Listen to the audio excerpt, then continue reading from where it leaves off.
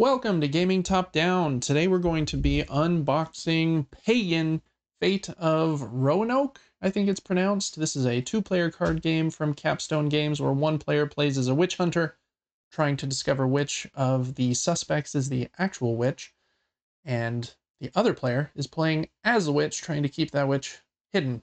That was a lot of witches, but let's go down to the table and see what's inside this box.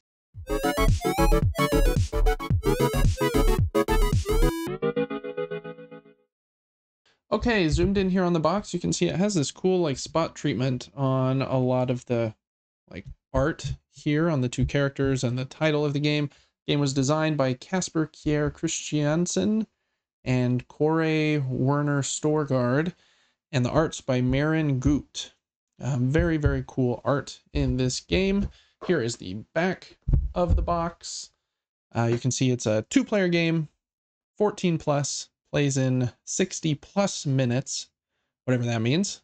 A little more than an hour, it seems. Uh, so let's open this box up.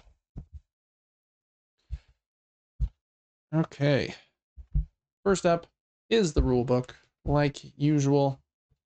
So let's open that up and see what it looks like inside. Again, just really awesome artwork. Look at that introduction page. So cool. Component overview, game setup, playing the game, cards, villagers, sucks, uh, excuse me, suspects, hunter cards, witch cards, the boards, witch board and the hunter board, actions, which actions, common board actions. I hope you can see this okay. I'm really zoomed in. Um, so hopefully that uh, still looks clear. Hunter actions, example of play, example of some turns, advanced rules. Oh man. Faction and scenario cards. Hmm. Starter deck variations and deck building if you have any of the expansions, I believe. Which I don't at this point. Glossary. Kickstarter backers. Thank you to them. Community baby. Cute. Uh, action heroes. Sponsored pets. Expand the possibilities with some extra content. Publisher. And art on the back. All right, cool looking uh, instruction manual. Okay, here are the two boards for the two different players. Here's the witch board.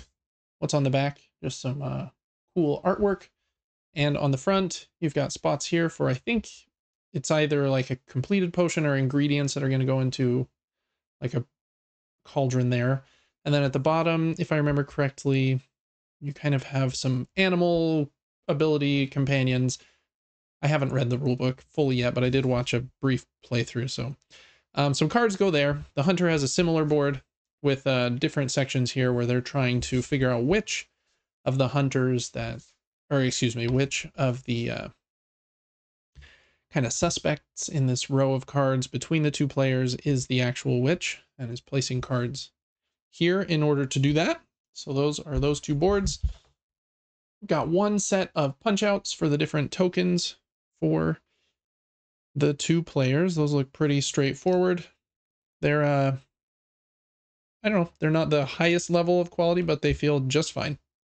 I actually have the uh, wooden component set coming um, in the next few weeks, so that'll be fun to replace those with. But even if you don't, those look just just fine. There are a couple of dials, one for the witch character, one for the hunter.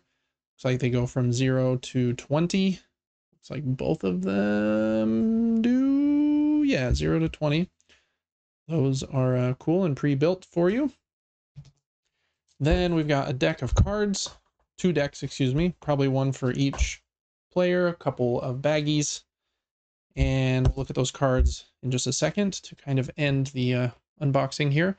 The Hunter has a player aid, which is nice. It's an actual like big uh, punch board piece. So they can set that next to their board. The Witch also has one. Um, this kind of goes off to the side of the main board here.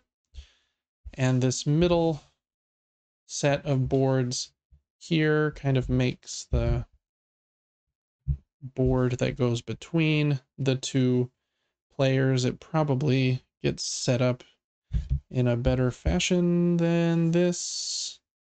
Let's see, where's the R? R is here. R O A N O K E. And then this, nope, I think it goes this way. Yeah, just kind of like that. And those suspect cards will kind of go there. So we've got the two different decks here. I'm going to open them up real quick and we'll finish this by looking at those packs of cards. Like I mentioned, this is a uh, two-player card game where these decks of cards are the primary kind of important piece. But there are some expansions you can get.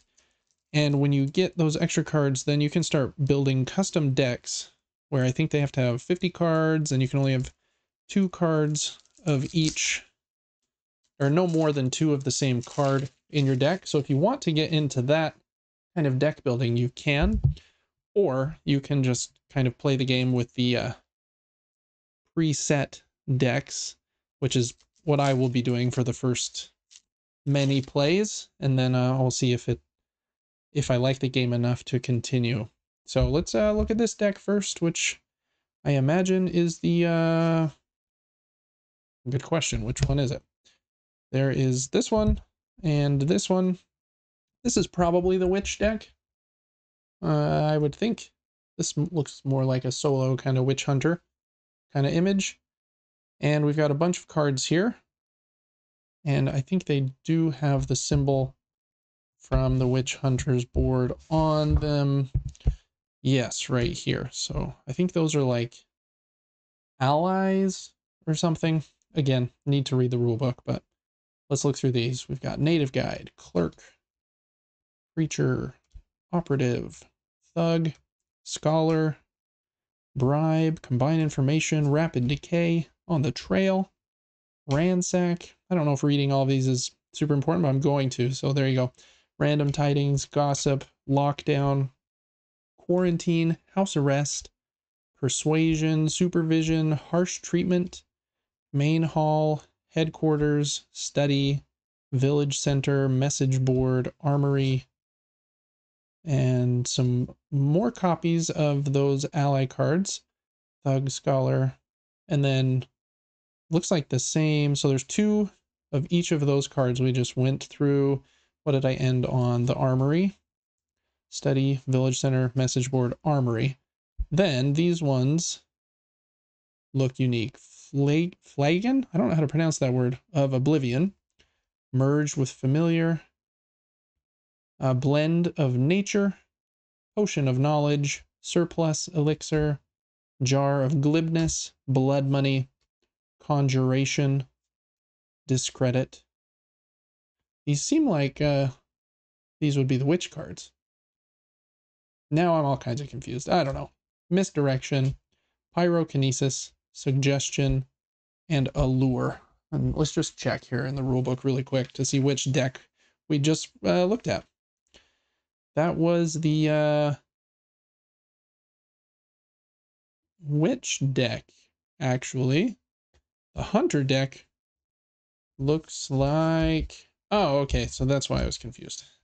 There are these cards. First, that are, I'm guessing, those characters yes, that go in these middle sections here. And then we have, man, more of them? Okay, I feel like I uh, went through two different sections of deck here. So let's actually flip those back. Yes, I did. So some of those were the hunter cards. They were Probably all of them until we got to the potions and stuff. Which would make sense because that seems much more like a witch, yeah, character item. So all of those ally cards and things like that were the witch hunter's deck. And then these are the witch portion of the witch deck with um, these different spells and parts of those uh, ingredients that you're putting in the cauldron. Okay, so we looked at those really quick. Let's just separate these by the backside here or else I'll mess that up again. Okay, there are some of those. We've got couple scenarios, interesting, and a couple player aids, and a couple, hmm, what are these? The stout cards that I guess explain what those nine characters in the middle of the board do. The caretakers, the voluntary recluses, recluses, and the stout. Okay, and some player aids. We'll put those off to the side. And then we have the rest of the witch deck. Okay, so we'll look at the rest of the witch deck last. Here are some more of those characters. These ones all have a white back and don't seem to have this ability symbol at the bottom. Um, so we'll just look at those like this. Mayor Biggs, Native Pamvi, Widow Atkins, Stranger Sue, Preacher Wolfric, Bo Johnson, Dr. Annie, Hunter Adams, and Nestling Mia. This is probably the deck that the witch uses to determine which one for that game will be the actual witch character. Whereas these ones are probably the ones that go out on the board. They've got the different uh, colored backs. And then they have a uh, special ability here at the bottom. So we'll just flip through those real quick so you can see what those abilities are. Sorry for the disarray and the uh, order I showed you these cards, but there are those. And then last up, we have the rest of the witch deck. Got entranced, hypnotism, obscuring mist, tardiness, witch's mark, isolation, assist, false lead. That card feels like it has another stuck to it. It doesn't. Uh, gather, learn secrets, qualm, scry, and then we're back to uh, some of these that we've already seen. So there's two of these in the deck. Blend of Nature, Potion of Knowledge, Surplus Elixir, Jar of Glibness. I think we saw all of those then. Blood Money, and we saw these two, Conjuration, Discredit, Misdirection, Suggestion, Allure, Entranced, Hypnotism, Tardiness, Witch's Mark, Assist, False Lead, Gather, Learn Secrets, Qualm, and Scry. So there's basically two copies of a bunch of cards, probably 25 cards in each deck, since I think both decks are 50 cards. Okay, well that is everything that comes in the box when you get the base game of Pagan, Fate of Roanoke. Uh, let me know in the comments if you have played this one yet, or even what your favorite two-player card games are. This is a, a genre of game that I really enjoy. Um, thanks so much for watching this unboxing, and I will see you on the next one. Till then, bye-bye.